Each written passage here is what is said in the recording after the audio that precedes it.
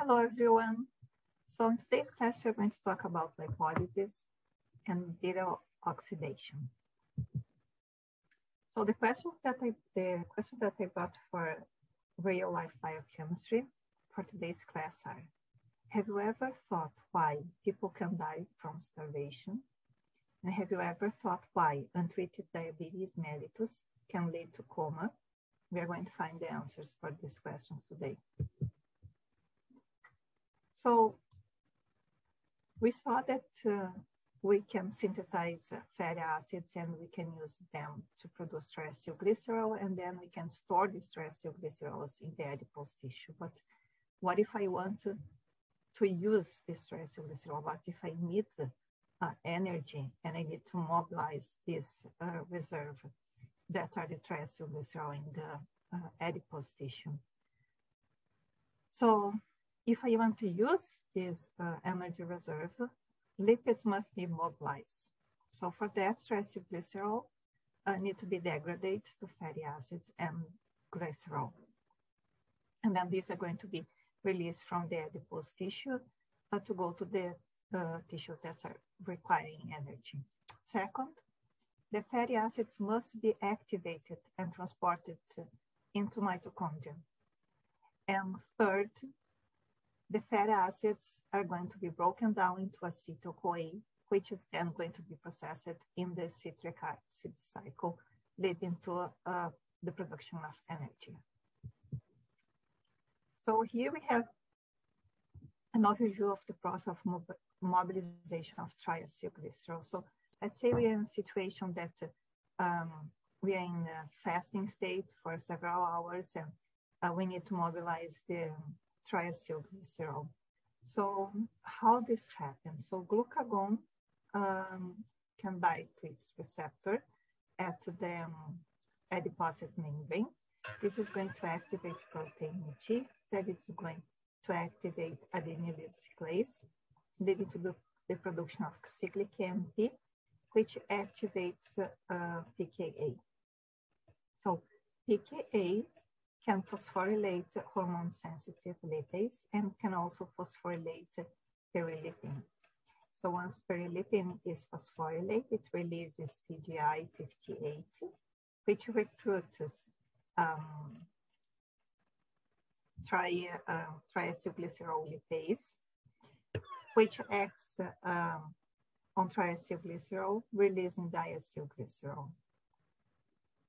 So phosphorylated perilipin uh, can combine to hormone sensitive lipase, uh, lipase phosphorylated and uh, act on diacylglycerol, uh, producing monoacylglycerol. And then monoacylglycerol through the action of um, monoacylglycerol lipase can release uh, fatty acids and uh, glycerol. So fatty acids um, circulate uh, through the blood um, bounded to albumin, and then at the myocyte level, through a transported fat acids can enter um, the myocytes and then be oxidized um, through beta oxidation and the citric acid cycle. Okay. So we saw that in the fat cell, triacylglycerol can be mobilized, uh, producing fatty acids that can be uh, oxidized, oxidize, uh, to the production of energy. And what about uh, glycerol? So glycerol can be transformed into glycerol 3-phosphate and then dihydroxyacetone phosphate we can uh, be used either in the glycolysis or gluconeogenesis, depending of the um, needed at the moment. Uh, but uh, glycerol um, 3-phosphate can also be used for the synthesis of triacylglycerol. So this is an overview of the, um, the fate of a glycerol and fatty acids reviewing a few things that we already saw. So fat acid, uh, fatty acid oxi oxidation takes place in mitochondria. And for this to happen, we need to, uh, to have the activation of fatty acids, and this is catalyzed by the enzyme acetyl-CoA synthetase. So once we have the activated fatty acids, uh, we need to, to uh, have these activated fatty acids inside the mitochondrial matrix. So uh, how do we uh, bring these fatty acids activate into the mitochondrial matrix? And this happens um, with the help of carnitine. So carnitine is going to react with the activated fatty acids, leading to the production of uh, acylcarnitine, production of carnitine acyltransferase 1. So once we have acylcarnitine, then it can um, cross the membrane, um, the inner mitochondrial membrane, through the action of a translocase, and then inside the mitochondrial matrix, uh, carnitine is released, and we are going to have the production of the activated fatty acid. So once we have uh, our activated fat acid here, carnitine is going to be released again and then can move back to the cytosol side uh, in exchange to acylcarnitine uh, again.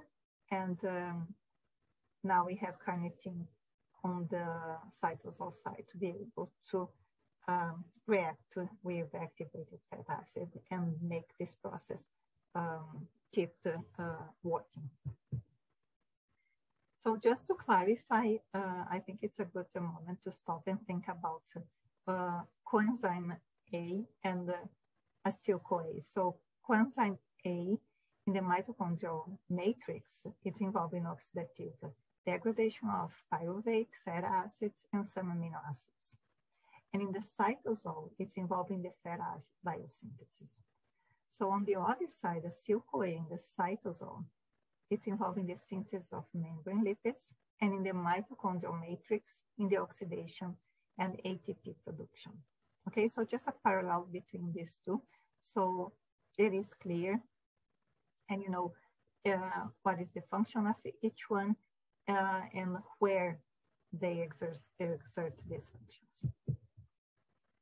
So once we have the activated fatty acids in mitochondria, now they're ready to be metabolized. So how does that happen? So we oxidize the fatty acids, uh, two carbons at a time, to acetyl-CoA. And the other thing is that we gather the release the uh, high energy electrons to power oxidative phosphorylation. So um, here we see the two, two, atom, uh, two carbon atoms at a time, um, leading to acetyl-CoA that is going to be um, that is going to go to the uh, citric acid cycle. There will be in this process the production of uh, NADH and FADH2 that are going to um, deliver their electrons to the respiratory chain.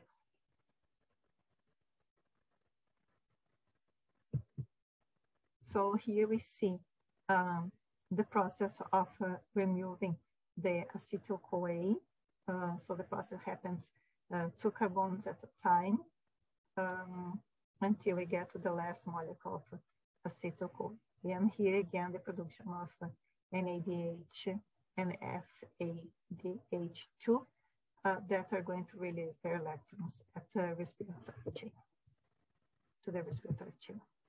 So here's the overall uh, reaction when we have the oxidation of fat acid uh, here specifically for, for CoA, where you're going to use 7 FAD, uh, 7 NAD, 7 CoA, 7 uh, molecules of water, and this is going to produce 8 acetyl-CoA, 7 FADH2, and 7 NADH plus 7 hydrogen. So we are going to go to the uh, stoichiometry of uh, these uh, reactions and uh, understand specifically where the production of energy is coming from, uh, what uh, NADH is giving, what uh, FADH2 is giving, and um, also considering that um, although we do produce a lot of ATP through the process of uh, beta oxidation, uh, we have to remember that there is also, um, we also use ATP when we activate the fatty acids. So we're going to go through all this in class. So for the oxidation of, uh, we are talking about the oxidation of uh, saturated fatty acids, uh, fatty acids. So if I have the oxidation of mono unsaturated fatty acid, in this case, we need the help of an enzyme called enoyl-CoA isomerase that is going to reposition the double bond, converting the cis isomer to a trans um, isomer. On the other hand, if you want to, to do the oxidation of polyunsaturated fatty acid, then we need two auxiliary enzymes. One is the enoyl-CoA isomerase, and the other one is the 2,4 dienoyl CoA reductase. So how does the regulation of fatty acid synthesis and breakdown works? So the fatal of fatty acyl-CoA formed in the, the cytosol in the liver can be the beta oxidation by enzymes in mitochondria, or can be conversion into triacylglycerol and phospholipids by enzymes in the cytosol. So um, the three-step process that we already saw that is also called Carnitine shuttle, um, by which uh, acid groups are carried from cytosol, uh, cytosolic acyl CoA into mitochondrial matrix is the rating uh, limiting for fatty acid oxidation. So two enzymes are key for the coordination of fatty acid metabolism. And these two enzymes are the ACC, that is the acetyl-CoA carboxylase, that if you remember is the first enzyme in the synthesis of fatty acids. The other enzyme that is key is the carnitine acyltransferase 1, that is the enzyme that limits the transport of fatty acids into mitochondrial matrix for beta oxidation, we just saw. So if you look here, if you have excess of glucose that cannot be oxidized or stored as a glycogen, what is going to happen and it is going to be converted in the cytosol into um, fat acids to be stored as triacylglycerol. So we're talking about the this step. Okay, so from glucose, we're going to have the production of acetyl-CoA. Um, acetyl-CoA is going to originate malonyl-CoA and it's going to be used for fat acid synthesis. So at the same time, malonyl-CoA is going to inhibit carnitine acyltransferase 1. And it is, it, this is going to ensure that the oxidation of fat acids is inhibited.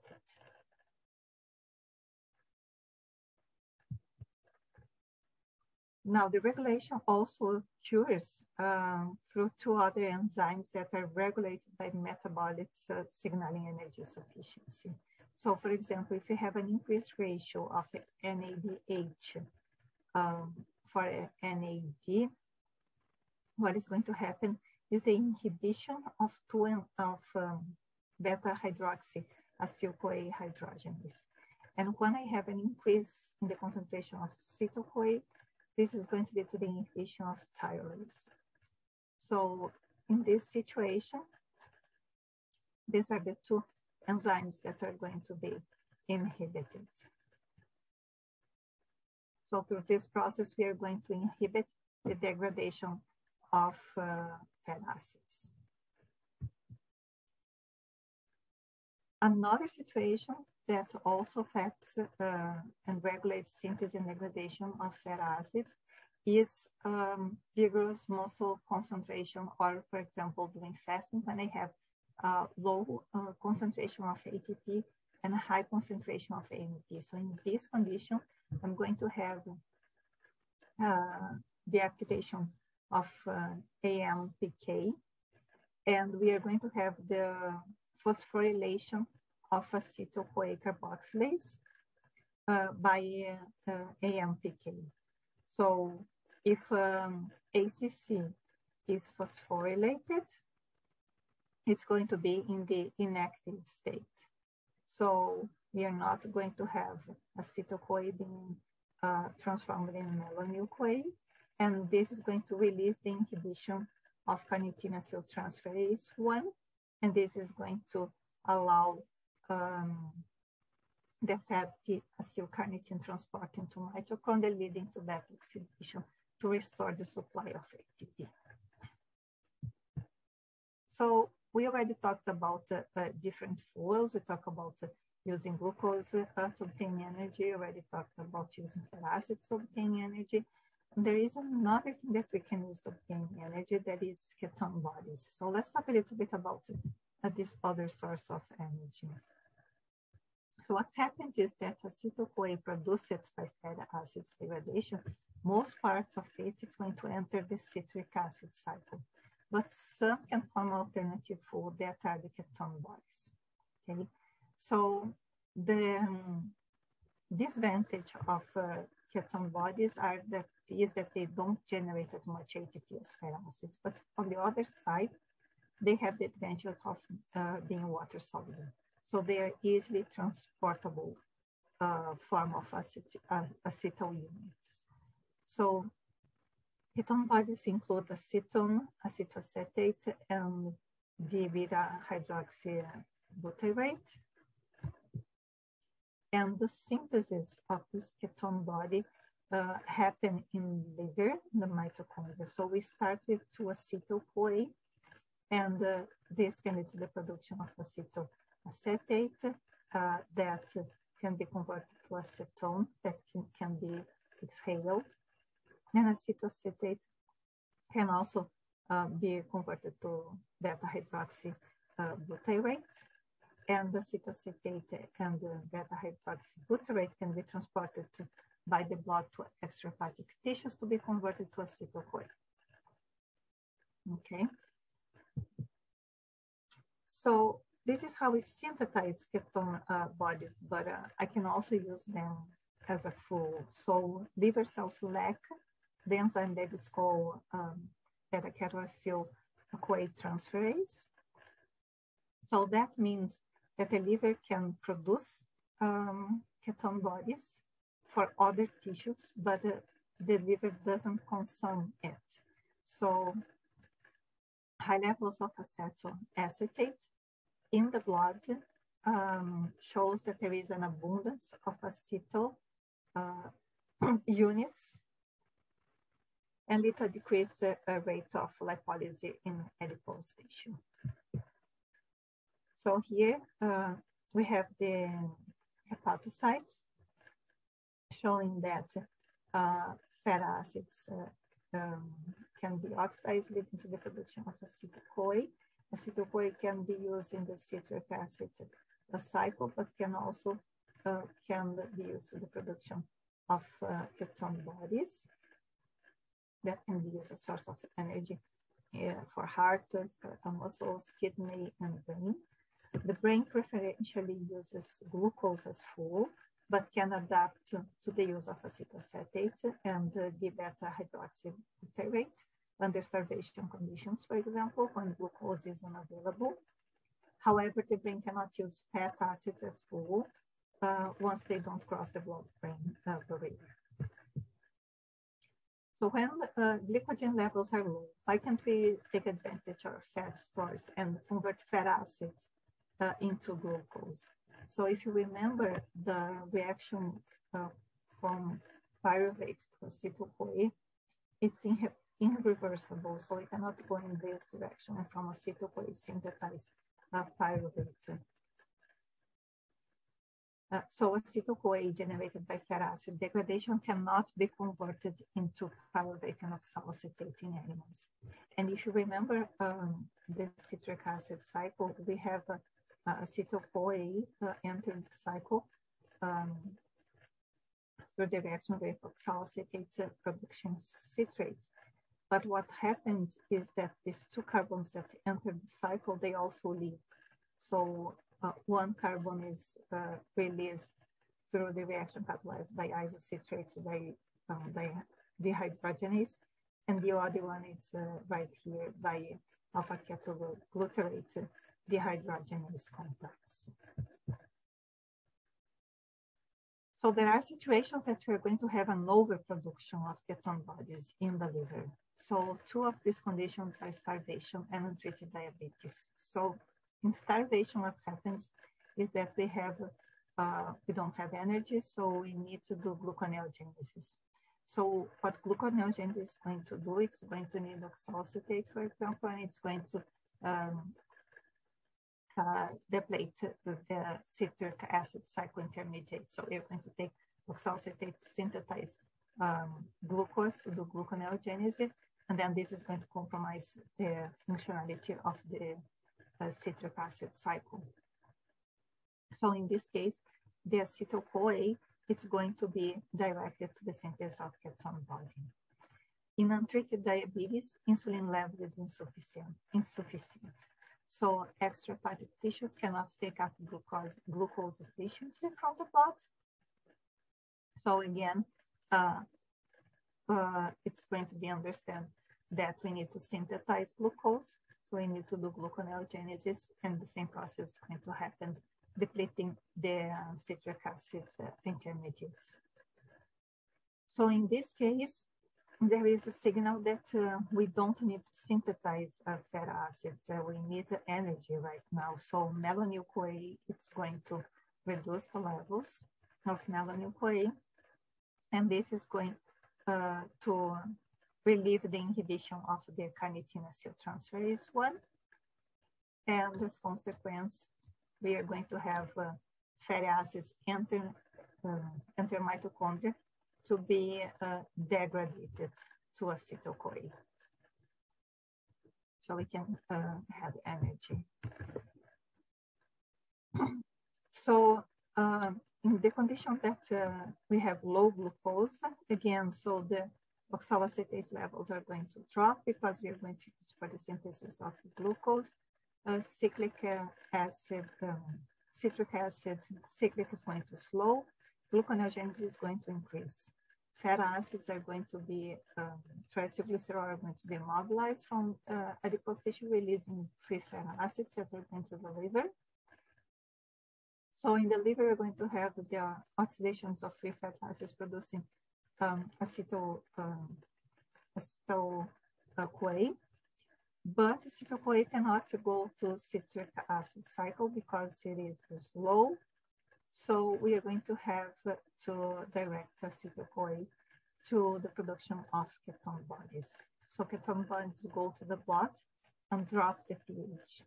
And this has consequences that are the coma and the death. So for today's learning's objective, we have to understand how peripheral tissues gain access to lipid energy reserves uh, stored in adipose tissue, um, oxidation of saturated, monosaturated, polyunsaturated fatty acids, regulation of fatty acid synthesis and breakdown, synthesis and degradation of ketone bodies, fatty acid and ketone bodies metabolism under different situations, such as fasting and diabetes. So um, that's for today's class. And uh, I look forward to see you uh, in class so we can discuss more about these topics.